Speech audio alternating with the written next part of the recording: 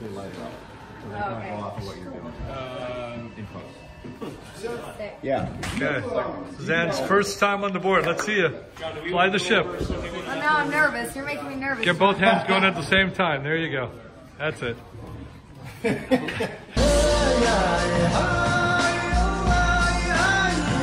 I have no idea why I love that song so much. It's probably because I'm an enigma. Years ago, the Orville lost something, and I think it's coming back this season. In season two of the Orville, the fans lost something that we haven't seen since the episode Home, when Halston Sage's character left the show. She played everyone's favorite Xelayan chief of security who can just as easily break your arm as break your heart. A 20 man army all packed inside a small pointy eared package who the crew of the Orville had complete confidence in, even though she didn't always have confidence in herself. Of course, I'm talking about Alara Kitan. We all said our goodbyes as Alara went back home to mend her relationship with her family. We really got to know her better than most characters on the Orville, and at least for me, she still has a special place in my heart. You guys already know the Orville is the show we've been waiting for for years to bring back socially relevant science fiction stories taking place in a utopian future where mankind has put aside its differences to boldly go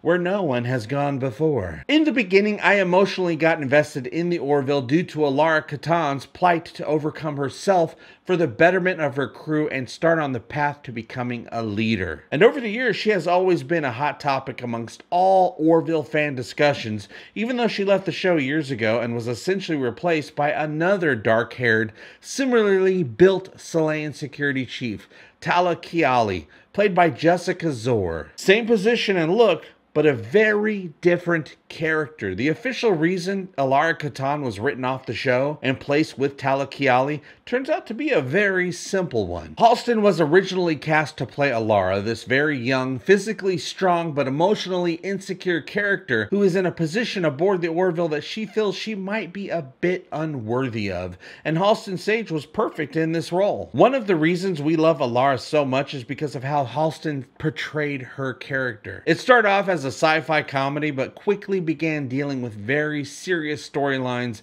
and situations, and it started to distance itself a bit from the levity of the series, and it began to become real. True story! The Orville wanted to keep going in that direction, especially in the upcoming seasons. The writers began seeing the possibilities of where the series can go and grow. Having the chief of security be a bit rougher around the edges and more experienced was what the series needed. But this is not the character they originally wrote Alara to be, and not the type of character they would have ever cast Halston to play. They wanted a character that can not only open up a can of slaying whoop ass on anyone that gets in her way, but can also have the confidence to have some serious confrontations with other characters while still being able to go out dancing with the girls. They needed a more mature actor to play a more mature character, which isn't what they originally were planning for when they created the series. Jessica Szohr was an incredible addition to the show, a total badass, and I feel she adds a much needed new dynamic to the Orville. She's strong, sassy, likes to party. She's confident in her abilities and her job and plays the holophoner. What? Total package, you guys, because she's an adult. And while Jessica Szohr replaced Halston Sage as the resident Xelayan on board, there's still something very important missing from the show since Alara went back home. The bloom of youth.